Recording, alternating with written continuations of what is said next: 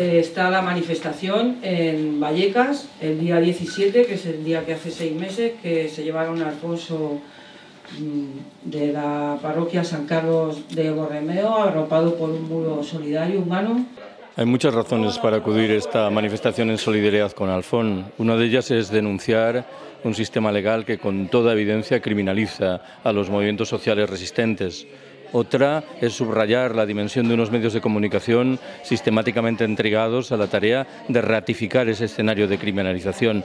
Pero más allá de eso, creo que estamos obligados a recordar nuestra obligación de contestar un sistema como el que padecemos y de hacerlo con todas las herramientas en la calle. Y de recordar en paralelo que no es solo Alfón, hay mucha gente en situación muy similar a la de Alfón. Os animo a salir a la calle ahora que todavía estamos a tiempo y el día 17 a las 7 de la tarde os esperamos en la manifestación en lucha por Alfon y por todos los presos y presas.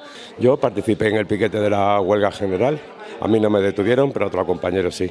Y cuando ves las barbas de tu vecino cortar, por las tuyas a remojar. Queremos convocar una nueva huelga general y no aceptamos amenazas para los próximos piquetes. Desde Red Roja entendemos que es necesario seguir reivindicando la libertad de todos los presos políticos, como es el caso de Alfon, y tenemos que ser el grito de todos ellos este jueves 17 a las 7 de la tarde en el Metro de Buenos Aires. Difundid y acudid.